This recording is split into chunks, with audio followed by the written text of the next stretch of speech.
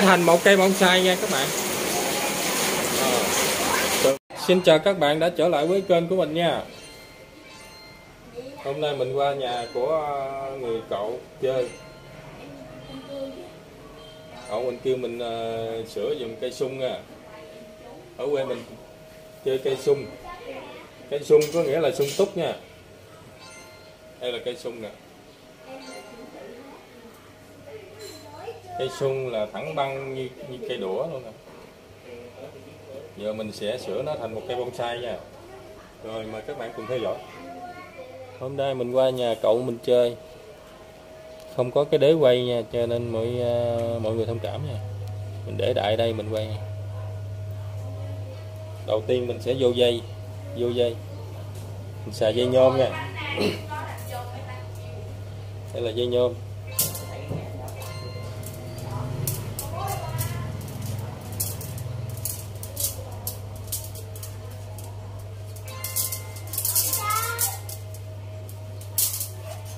Cái này là gỗ nó hơi cứng rồi cho nên mình uống phải kỹ, nếu không nó sẽ bị gãy nha. Tôi hỏi phải à, hơi kỹ chút xíu.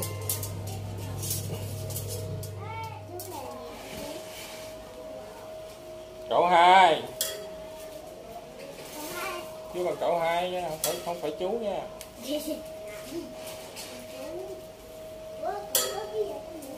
Cậu hai sửa kiểm cho ông ông không ngoại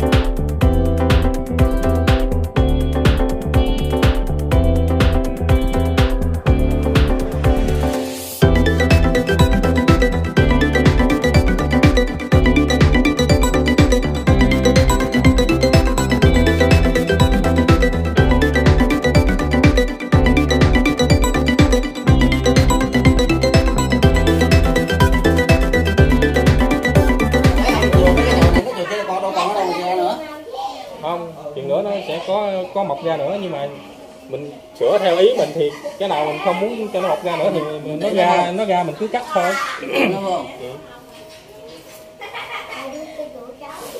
rồi bây giờ mình sẽ à, xử lý cái khâu quan trọng nhất ha, mình uống cái thân chính trước nha. Rồi khi mà nó thành công thì mình sẽ à, xử lý mấy cái tay nhỏ nhỏ. Cái này là quan trọng nhất, nếu nó gãy là bắt buộc mình phải cắt bỏ cắt bỏ cái gốc, mình trồng lại cây bonsai nhỏ ha ừ. sung nó bòn mà, sung nó dễ mà. Mình cọp cái băng keo đen này làm cho nó đừng gãy á. Thơm vô. Chứ mình để khơi khơi là nó sẽ gãy. Tại vì cái này nó già quá. Còn cái cây non thì mình uống khỏi cần quấn băng keo.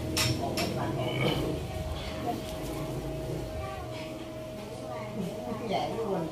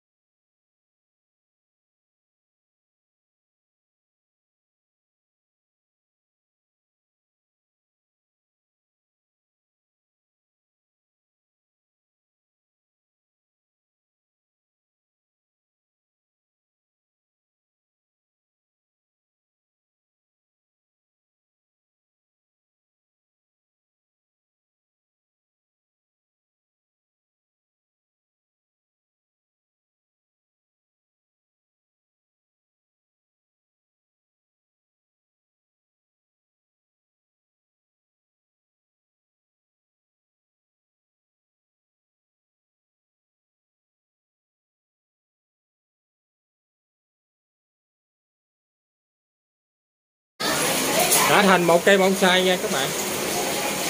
Ờ, từ một cây ban đầu là xấu quắc mình đã sửa thành một cây rất đẹp nha.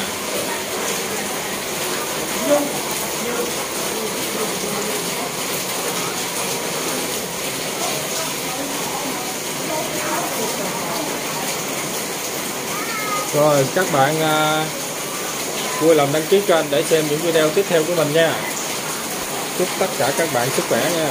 Tạm biệt.